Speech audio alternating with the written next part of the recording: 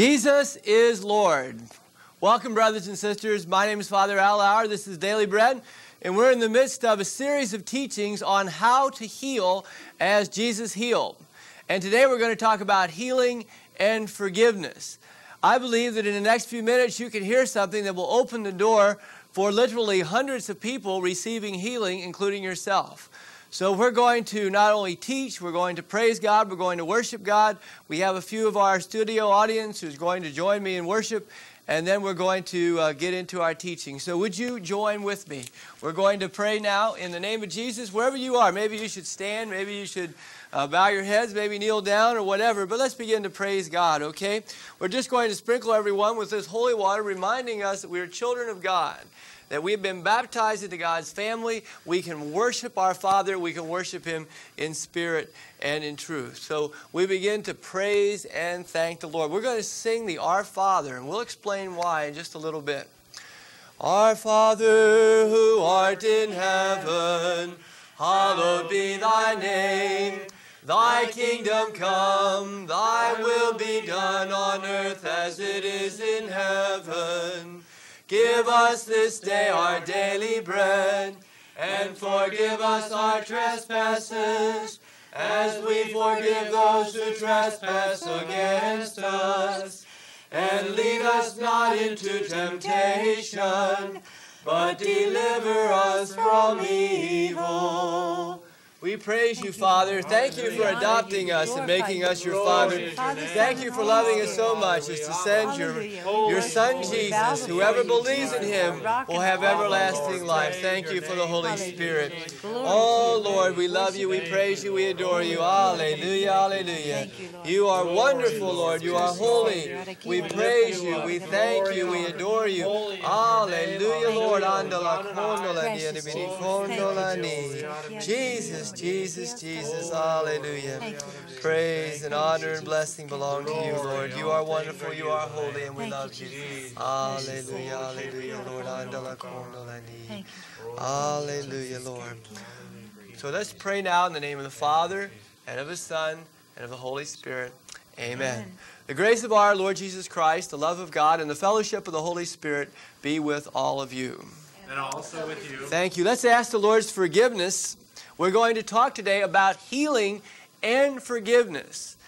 And many people watching this program are sick, and the only thing that's blocking their healing is they have not received God's forgiveness or they have not given God's forgiveness. I'm going to kneel down for a minute myself, and I'm going to um, ask maybe some of you to join me. This is an expression of repentance. So let's come before the Lord and let's ask the Holy Spirit to convict us and to search our hearts and bring us to true repentance.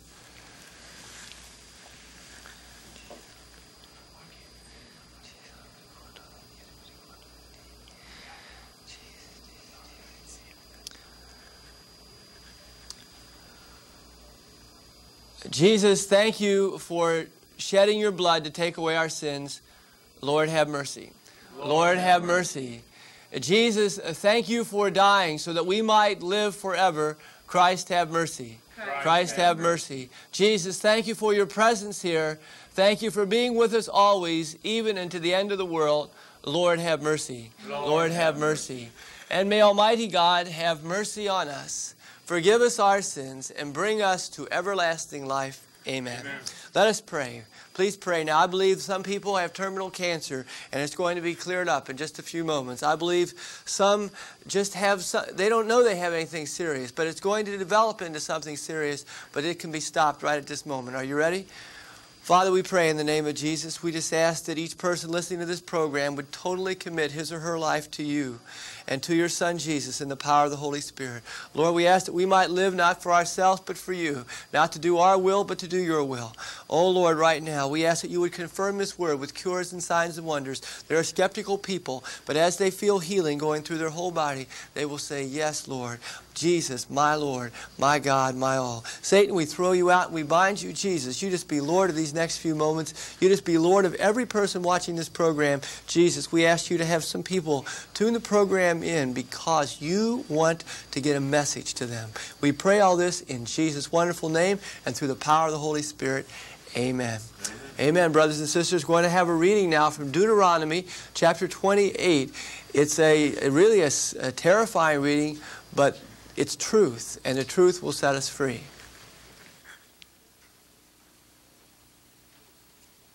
This is a reading from Deuteronomy. But if you do not hearken to the voice of the Lord your God, and are not careful to observe all his commandments, which I enjoin on you today, all these curses shall come upon you and overwhelm you. The Lord will put a curse on you, defeat and frustration in every enterprise you undertake, until you are speedily destroyed and perish for the evil you have done in forsaking me. The Lord will bring a pestilence upon you that will persist until he has exterminated you from the land you are entering to occupy. The Lord will strike you with wasting and fever, with scorching, fiery drought, with blight and searing wind that will plague you until you perish. And this is the word of the Lord. Thanks be to God. Well, I mentioned, brothers and sisters, that reading was uh, kind of overwhelming, but it's true. It's true. Let me ask you a real simple question. Uh, do you think God wants you to be sick? Do you think God wants you to be sick? There are people who go around and say, Well, I guess this is what God wants for me. I, I don't believe God wants you to be sick. Now, I'm not saying God can't do wonderful things in any circumstance, including sickness. Of course, He can. I'm not saying He can't turn it all to the good for those who love Him. He promised He'd do that, and He'll turn sickness to the good. But I don't believe God wants you to be sick. You know why I say that? Is because God's your Father. And I don't know any father that loves his children, that wants his children to be sick. Oh, we, we need to discipline our children. We need to teach them a lesson. We need to show them they've got to change their ways. We need to talk to these kids. But we don't do it by making them sick. Do you see what I mean? So you might say, well, okay, I understand. If God doesn't want to make me sick, and I don't want to be sick, well, then how in the world did I get sick? Who made me sick? How did I get sick? Well, that reading from Deuteronomy chapter 28, verse 15 and the following, this tells us how we get sick. We get sick because of sin. You know, when God made things, there was no sickness in this world. But then when sin entered this world, and we brought sin into this world, a lot of things came in with sin, like death and like sickness. Like sickness. And so when we're sick, we're sick because of sin. We're always, we're always sin sick. Do you understand? We are always sin sick. You might say, well, you mean everybody who's sick, they're bad sinners? Not necessarily. I didn't say it was the sin of the person who's sick although a lot of times it is, but it's certainly the sin of somebody that's causing sickness. Do you understand? Let's look at Deuteronomy 28 now. And it says, if we don't obey God, guess what will happen to us? It says, a pestilence will come upon us. Deuteronomy 28 21. It says, a wasting and a fever will come upon us. When you get a temperature, where does that come from? From somebody's sin. Very likely your own, but not always. It goes on and it says that, um, verse 27 in Deuteronomy 28, you'll be stricken with boils and tumors and eczema and the itch until you cannot be cured. Even mental illness often is due to the sin of the person and always due to the sin of someone.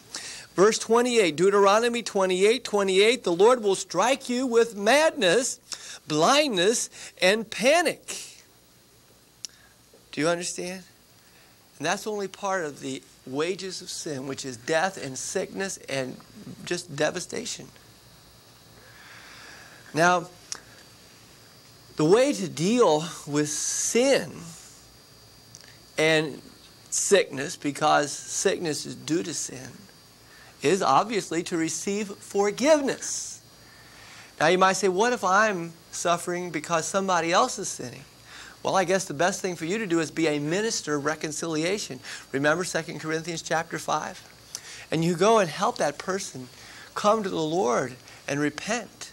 But most of the time, it's not other people only, maybe partially, but most of the time, our own sin has something to do with it. Not all the time. Remember John chapter 9 and verse 3. Uh, this man was blind, and the apostle said, I know it's sin. Is it his sin or is it his parents? And Jesus said, in this case, it wasn't either one of them. But it really was sin in the whole world, or there would never have been a blind person. But, um, so I'm not saying that you're always the one sinning if you're the one sick, but it happens that way most of the time. At least your sin has a part to play in your sickness.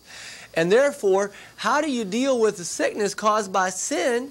You must repent. You must receive forgiveness from the Lord. When you're sick, you know one of the first things you should do? Go to confession. Go to confession. That's one of the very first things you should do. Maybe I ought to read a little bit about this. This I'm going to read from uh, Sirach. Sirach has some tremendous revelations about what to do when you're sick. Let me find the passage here. Okay. Hmm. Sirach 38 verse 9 My son, when you're ill, what do you do? Delay not, do something. But what do you do? First, pray to God that he will heal you. Two, flee wickedness, let your hands be just, cleanse your heart of every sin. Three, offer your sweet smelling oblation and petitions. And four, give the doctor his place. But remember, number one is pray. Number two is repent. Number three is worship. And number four is the doctor. So, I'd say one of the first things you do is repent. In fact, it's the second thing according to Sirach. Prayers first, repentance second. And you'll save yourself a lot of money on doctors and a lot of trouble. Remember, before you take a pill, before you get on that phone, before you even lay down to rest, you repent. You repent. Now, if you refuse to repent and you your sin is partially the cause of your sickness, guess what? You won't get better. People can pray over you forever. Doctors can give you treatments on treatments, and you will not get better. You won't. I'm going to read back and get Sirach. Sirach chapter 3, verse 27. Here's a man, he has a sin. His sin is pride. It says, Sirach 3.27, For the affliction of the proud man there is no cure. When a person does not repent, there's no cure for him. Even if they got the littlest cold in the world, if they don't repent, there's no cure for them. Even if they got a hangnail, if they don't repent, there's no cure for them. Do you see what I mean? That's what it says. Let's look at another passage. This is Psalm 32 and verse 3. Psalm 32 and 3. I hope you have your Bibles and you're following along with me, or just jot these things down, or you can get a copy of this tape just by uh, sending into the address listed. So, Sirach 32, verse 3 As long as I wouldn't speak, my bones wasted away. This guy got worse and worse. He kept losing weight and losing weight with my groaning all the day. He was in terrible pain and he kept, kept groaning all the time. For day and night your hand was heavy upon me. He didn't get any relief. It was just sick all day long, all night long. Sick, sick, sick. My strength was dried up as by the heat of summer. He got so weak he could hardly even do anything. Guess what his problem was? He would not admit his sin. He could not get forgiveness because he could not give confession. And he says, Then I acknowledged my sin to you. My guilt I covered not. I said, I confessed my faults to the Lord, and you took away the guilt of my sin. And I started feeling better all of a sudden as soon as I confessed my sins. You see what it says there? Psalm 32. So when you're sick, first thing to do, or among the first things to do, confess your sins. Go to confession, all right? Now, there's another thing that goes along with that. And I'm going to look at Matthew chapter 6, verse 12. That is why we were uh, singing the Our Father before. Matthew chapter 6, verse 12. This is the Lord's Prayer. And in the Lord's Prayer, the Lord teaches us to pray in such a way that we will curse ourselves through praying the Lord's Prayer if we have not forgiven people. Because we pray that we would for be forgiven as we forgive those who trespass against us.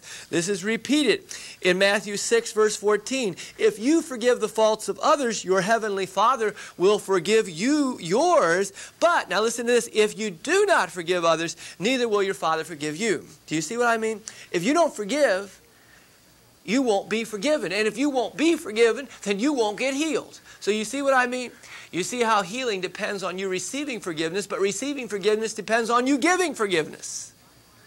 And therefore, one of the major blocks, and I find this to be true, I would say 90% or more of the time, that most problems, including health problems, go back to an unforgiveness. The person does not forgive someone else. And when you don't forgive someone else, I'm telling you, your healing is blocked. You don't expect to get healed. Look at Sirach 28. We're in Sirach again. Sirach 28 3. It says, Should a man nourish anger against his fellows and expect healing from the Lord? If you think you can be mad at somebody and expect to get healed, you're wrong. You're absolutely wrong. Re remember, um, Matt, I want to read this. This is Mark 11, 24. Mark 11, 24. It, you know, how do you get healed? You get healed by faith, don't you? Sure you do. You get healed by faith, but you know what will ruin your faith? Unforgiveness. Look at this. Mark 11, 24. I give you my word if you're ready to believe, if you got faith, if you're ready to believe that you will receive whatever you ask for in prayer, it shall be done for you. Did you hear that again? If you're ready to believe, it shall be done for you. If you're ready to believe that cancer is gone, it's gone. If you're ready to believe that that person in the in the de deathbed is going to come out, then you're going to come out. But of course, God will have to give you that faith. When God gives you that kind of faith, I'm telling you, you're ready. But you know, you won't get the faith God wants you to have unless you're forgiving. The very next verse. Very next verse, Mark 11, 25. When you stand to pray, when you stand to pray the prayer of faith, guess what? Forgive anyone anyone against whom you have a grievance, that your heavenly Father may in turn forgive you your faults. If you didn't realize what it says in Mark, Matthew 6, you wouldn't understand why are these two things put together but they are put together if you don't have forgiveness for other people your prayer power and your prayer of faith power is ruined is ruined Remember Matthew 5 24, it says, You go to the altar. If you think anybody has anything against you, you'll just have to leave your gift at the altar and go and be reconciled. I'm telling you, you come to the altar, you're going to have to leave your healing at the altar and go be reconciled. I'm telling you, there's so many healings left at the altar, and people have not come back and pick them up because they haven't gone out and got reconciled. You know, a lot of times when people come up and say, Oh, Father, I want you to pray for me. I want you to do something for me to help me. I'm very sick. Uh, I think some of the time the best thing to tell that person is, I can't do a thing. Just leave it right here at the altar and you go and forgive your husband first. You come right back here and you'll be healed before you even get here. You see what I mean? You see how this works? Not only does unforgiveness block being forgiven and therefore being healed, it actually makes you worse. It not only keeps you from getting better, it gets you worse. If you've got cancer and you're not forgiving and you stay that way, you're going to get worse cancer. Now, the reason I say that is because of Matthew chapter 18 and verse 34. Matthew 18:34 this man was forgiven a tremendous debt and then he did not forgive a fellow servant who owed him just a little something and the master said to this unforgiving servant, and he said, uh, I'm going to hand you over to the torturers until you pay back what you owe. You know, if we don't forgive, we are handed over to the torturers. Now, the torturers are not people, they're worse than people. The torturers are resentment, unforgiveness, loneliness, anxiety, all kinds of depression and confusion. And that is a uh, really a life of hell on earth. So I think you get the idea. We've got to forgive each other to be forgiven, to be healed. Now, let me say one more thing about this. You've heard the expression to err is human, to forgive is divine. You're human, I'm human. If to err is human, we can do that fine. If to forgive is divine, we can't do that fine because we're not divine. So I think you have to admit the fact, say, Lord, I can't forgive. I don't have it in me. I don't have the power. I just don't have it. You have to be divine to forgive, and I'm not divine. How can I forgive? And the Lord says, I'm glad you understand that you're going to need a Savior, aren't you? So you come before the Lord and say, I can't forgive, but I can ask for a miracle, and you're going to do it. And the Lord certainly will. Now, one other thing related to forgiveness and unforgiveness, and this is the area of guilt. Sometimes, I'm talking about false guilt. Sometimes true guilt just means you've never repented.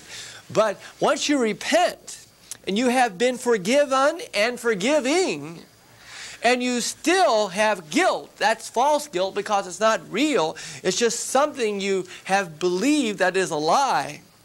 Of course, guilt will often ruin a person receiving healing. Now, how do you deal with guilt? You tell somebody about it. Now, you say, I can't do that. If, they, if I told them that, I wouldn't have a friend in the world. That's not true. And in order to unmask the lie, you must challenge the lie. You must call the devil's bluff. What does it say in James 5:16? It says, "Confess your sins to one another and pray for one another that you may find healing." See, confessing our sins to one another uh, challenges the devil's lie about us being so bad, and which on which he he builds this this whole experience of guilt that he's putting on us, you know. And if unless we can call the devil's bluff, you know, this guilt just piles up and piles up. Now, occasionally a person will say, I have repented, and I have even declared my sins to another. I did it in the sacrament of confession to the priest, and I still feel guilty. Well, then there's another problem there. The problem is something's wrong with your relationship to the Heavenly Father. That's the problem. Like in Luke 15, 20 and the following, remember the prodigal son coming back to the forgiving father. And the father says, I want you to know that I've forgiven you. I throw my arms around you. I kiss you. I put the finest robe on you. I kill the fatted calf. I put the ring on your finger, the shoes on your feet. I want to let you know that you're my son. I love you. You're forgiven. You don't have to carry that guilt around anymore. Well, the, the boy didn't believe it at first. And he said, Oh, I'm not worthy to be your son. Just let me be a hired hand. Do you see what I mean? So if guilt persists after declaring our sins to one another, then there's a problem with the relationship with the Father. Children are are notorious for not being guilty. Sometimes you wish they were a little more guilty. You know, they're guilty for about five minutes and that's the end of that. They just go out and do their own thing and have no problems.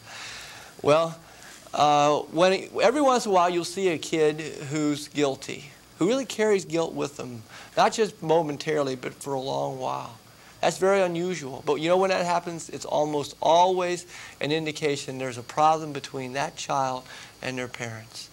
When there's a good relationship between child and parent, you'll never see this guilt build up. Okay, we talked about three things. We've got to forgive in order to be healed because sickness is based on sin. And how do you deal with sin? You deal with it by receiving forgiveness. But you can't get forgiven unless you forgive others. Forgive us our trespasses as we forgive those who trespass against us. And the devil even throws in another little wrench into the whole healing process by having people who already have forgiven and are forgiving, and they still get their healing blocked because of guilt. But your relationship with your Father, your obeying of the Bible and declaring your sins to one another, uh, your calling the devil's bluff will dissipate that guilt. And there comes the healing, just flowing in. The, the, the, sin is removed. The unforgiveness is removed. The guilt is removed. The healing just floods into your body, into your heart, into your mind, and you are a healed and a whole person. All right? Well, we're going to pray about this now. Isn't this wonderful what God wants to do for us? Why don't you just maybe put your hands out, if you would, as a sign of, I want to receive, Lord. Lord, I confess my sins. Each person watching this program confesses his or her sins and says, Lord, forgive me. I'll go to confession as soon as possible and receive your forgiveness in the sacrament of reconciliation. Heal me right now. Lord, if unforgiveness is blocking me being forgiven and me being healed, Lord, by your divine power, give me the grace to forgive. Lord, if guilt is burdening me, I just declare my sins openly, calling the devil's bluff, and I say, Abba, Father, Holy Spirit, cry out in me, Abba, Father, may I trust my dad when he says, You are forgiven. Brothers and sisters, you're forgiven, you're free, you're healed. In Jesus' most precious, powerful, and holy name.